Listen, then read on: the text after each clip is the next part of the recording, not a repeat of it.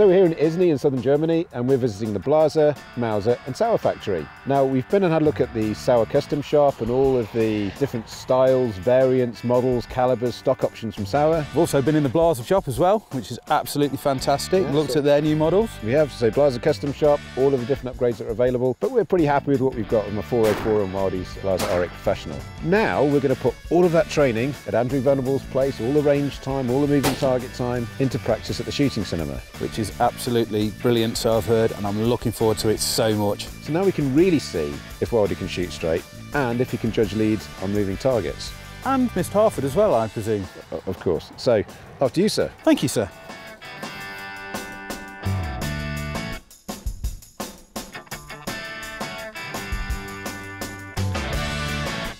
So we're in a Schießkino now. Directly translated, it means shooting cinema, and that's really what it is. It is a cinema. You've got your canvas there. There's a backstop behind it, and it's real films of wild boar, real films of any hunting situation, and you can really simulate anything here, and that's the good thing. It's live ammo. You are shooting at the film, and there's a computer actually calculating where the shot has gone by the light behind the canvas pushing through it, and that's when the computer really sees the point of impact and where the wild boar was at that moment. I would always recommend for anybody who's new into driven wild boar shooting or driven game shooting in general to use one before you go because it is different than shooting something still with a rifle. Pretty similar to shooting a shotgun. You do need lead on fast animals and depending on the distance of course also more or less lead. Same as with your regular shotgun shooting and that's the good thing in the shooting cinema. You can really practice anything from being really close to going further back and that's really where you see your differences in lead and realistic training opportunities and that's what we're going to do right now. Let's get shooting.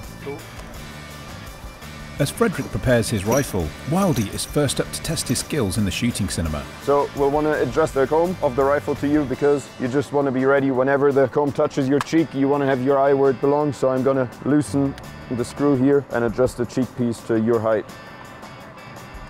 Try that for you if that works. Is that good? Yeah, that's fine. That's fine. Good stuff. Three round mag on it now. One in the barrel. Wild boar coming left to right. Just have a go and, and have a play. Whenever you're ready, you're good to go. Bit more lead. Perfect. By following Frederic's advice, Steve lands his shots perfectly, most of the time. Won't get four in there, will I? Oh, will. This is where the training at WMS Firearms really comes into practice, with ball running at different speeds, angles, and elevations.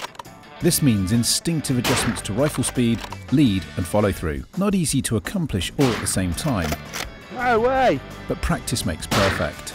This is not only an excellent training exercise, but also a huge amount of fun. More lead, man.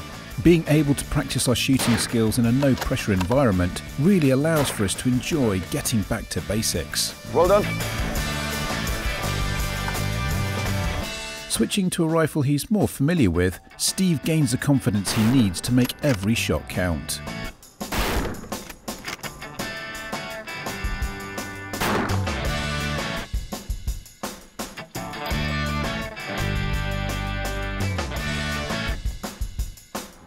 After a quick bit of housekeeping, it's now my turn to step up to the plate. This is an incredible talent that few have seen from Wildy in the past, and I'm sure his wife will be putting these skills to test in the future. I have to say, I'm very impressed. We're really close barrel meal things only really coming coming for our domestic market. Mm-hmm. As Frederic is an experienced wild boar shooter, he provides me with some useful tips, Even more lead. encouraging me to give more lead to my shots. By taking into account the speed of the boar, the angle of impact, and the trajectory of the bullet, Go, go higher. I begin to land my shots. Yep. There you go. Hey, Dad.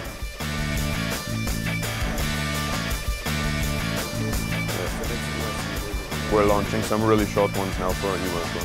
Three shot mag, one foot for each lad. Switching to Wildy's rifle, and with the support of my peers, I connect my shots with more consistency, and we try out a number of different scenarios.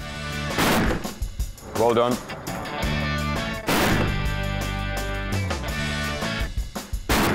Well, apart from that one.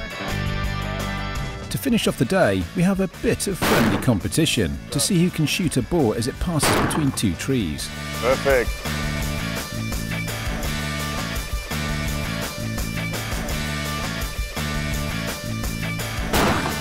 Oh, there we go.